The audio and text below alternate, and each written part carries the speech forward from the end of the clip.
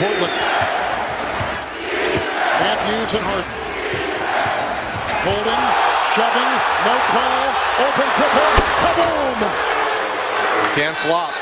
You can't flop. It makes it look better.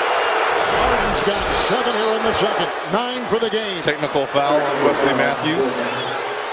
This is basically four points you gifted James Harden. Here's the one-on-one up top between Matthews and James Harden.